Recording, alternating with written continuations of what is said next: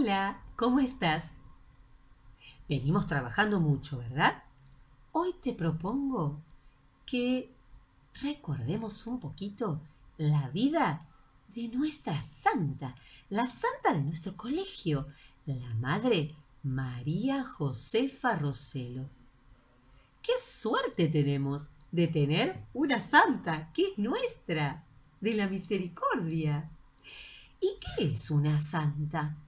Claro, viste que yo te conté que el 12 de junio se cumplieron 171 años de que el Papa, que estaba en ese momento, que se llamaba Pío, el Papa Pío, la nombrara santa. ¿Y qué es que te nombren santa o santo? Te nombran el mejor amigo de Jesús. ¡Qué título! Porque ¿qué pasa? Cuando alguien es tan bueno, tan bueno y hace tantas cosas buenas, se termina convirtiendo en el mejor amigo de Jesús. Y si nosotros copiamos algunas de las cosas buenas que hicieron los santos, podemos nosotros también llegar a ser santos, llegar a ser los mejores amigos de Jesús. Y los santos nos acompañan desde el cielo, nos cuidan, pero también como que nos ayudan a ser cada día nosotros mejores amigos de Jesús. Por eso, hoy vamos a recordar un poquito cómo fue la vida y qué cosas hizo María Josefa Roselo, que no se llamaba así, ¿eh? Mm, ahora te lo voy a contar. Santa María Josefa Roselo, la Madre del Corazón Grande vamos a ver un poquito de su historia. En un hermoso pueblo de Italia llamado Albisola nació hace muchos, muchos años una dulce niña. Sus padres, Bartolomé y María, la bautizaron el mismo día que nació y le pusieron de nombre Benita. Sus padres eran unos sencillos alfareros. ¿Qué son los alfareros? Los que trabajan la arcilla, con la cual fabricaban hermosos objetos de cerámica, como pueden ser floreros, jarrones y muchos adornitos de cerámica, platos, tazas también que pueden servir para tomar, para comer. Benita ayudaba a sus padres en las cosas de la casa y también ayudaba en el taller a su papá Bartolomé. Jugaba también con la arcilla y le gustaba mucho modelar figuritas de hermanitas como la hermana Teresa. Benita era una niña como todas, le encantaba juntarse con sus amigas a jugar y correr por la playa. Pero, después de jugar, invitaba a sus amigas a rezarle a la Virgen esa oración tan larga y tan hermosa que es el rosario. Un día, los habitantes de Albisola fueron caminando mucho, mucho tiempo hasta el santuario de Sabona, donde estaba la iglesia de la Virgencita de la Misericordia. Quedaba muy lejos. Entonces a los niños no los dejaron ir, porque se iban a cansar. Benita se quedó con tantas ganas de ir que a que no sabes qué hizo. Juntó a sus amigas y amigos y entonces todos los niños realizaron una procesión hasta la capillita que estaba en el pueblo, cantando y rezando a la Virgen de la Misericordia, a la cual Benita quería muchísimo. Y así se dio el gusto de hacer ella también esa caminata para ir a visitar a la Virgen. Pasaron los años. Benita es una joven ya, muy generosa, que ayuda siempre a todos los que necesitan, le da comida a los pobres, ayuda a los ancianos y empieza a crecer en su corazón el gran deseo de dedicarse a todo lo que Dios le pida. Admiraba con mucho amor todo lo que Dios creó en la naturaleza. Le encantaba sentarse a mirar el mar, el cielo, la playa. Para ayudar a sus padres comenzó a trabajar.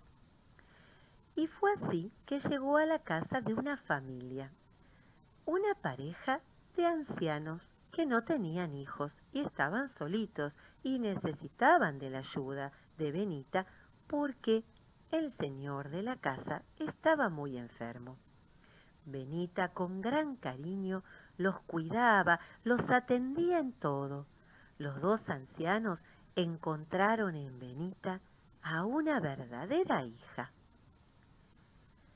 Con el tiempo sucedió que un día el obispo de Sabona, el obispo se llamaba Agustín de Mari, paseaba por las calles de la ciudad cuando vio un grupo de niñas muy pobres que peleaban y gritaban y se decían cosas feas. Vivían en la calle, pobrecitas solas, no tenían familia. Entonces el obispo, muy triste por verlas así, sin nadie que las ayudara y las protegiera, le pidió a Dios un alma generosa que fuera capaz de educarlas, de guiarlas por el buen camino.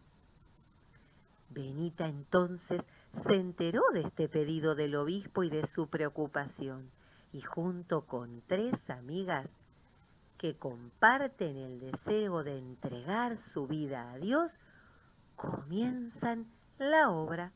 Y así, el 10 de agosto de hace mucho, mucho tiempo, Benita junto a sus amigas fundan una nueva familia religiosa a la que llaman hijas de Nuestra Señora de la Misericordia, como nuestro colegio.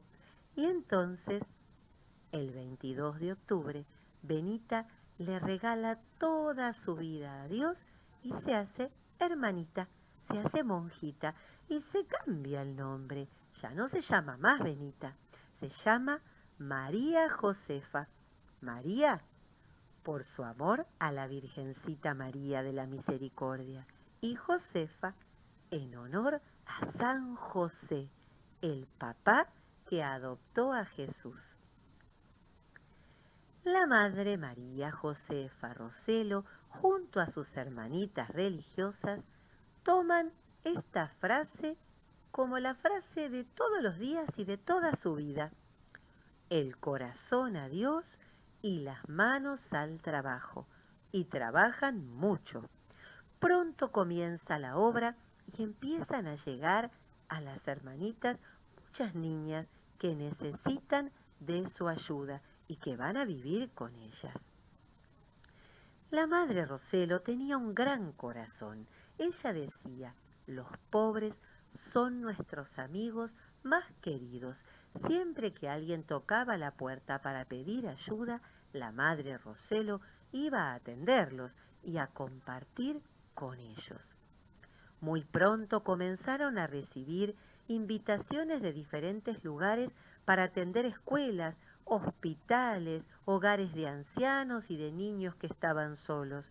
Con los enfermos, la Madre María Josefa era atenta y con gran amor los atendía.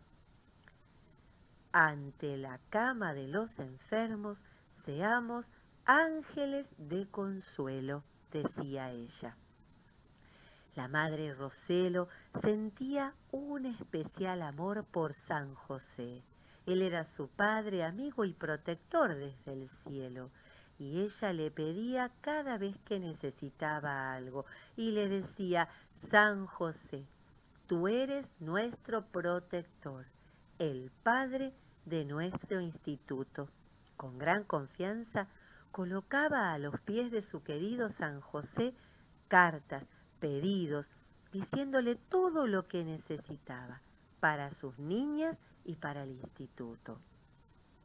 El corazón grande de la madre Roselo la lleva a apoyar a dos sacerdotes en una obra, una obra que se llamaba el rescate de las morenitas. ¿Quiénes eran las morenitas? Niñas pequeñas venidas desde muy muy lejos de África. Para rescatarlas. ¿Por qué había que rescatarlas? Porque las tomaban como esclavas. La madre Roselo entonces empezó a adoptar con gran amor a las pequeñas morenitas de piel negrita tan hermosas, porque lamentablemente en otros lugares no las querían. La madre Roselo tenía el corazón tan grande que a todos les hacía un lugar.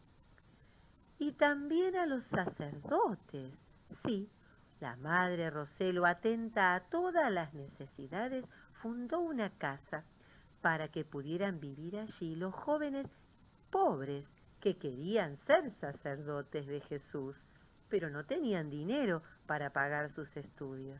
La madre Roselo hizo una casa para que ellos pudieran vivir y estudiar y llegar a ser sacerdotes. Su corazón grande y generoso quería llegar hasta los países lejos del mundo.